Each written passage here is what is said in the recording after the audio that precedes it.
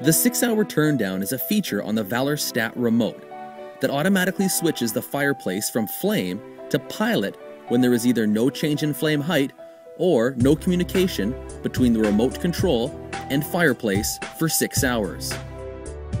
So, how does the 6 hour turndown benefit you? Here are two ways.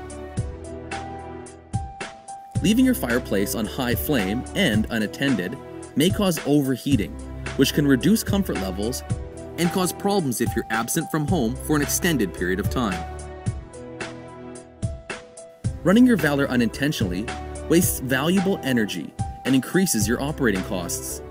Unique daytime and overnight features, such as the temperature and timer mode, provide a cruise control for your fireplace, distributing warmth where you want it and when you want it.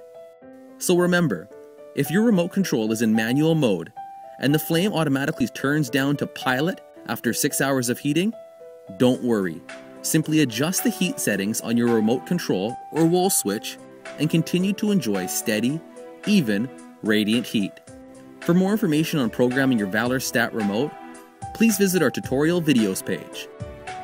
Valor, the original, radiant, gas fireplace.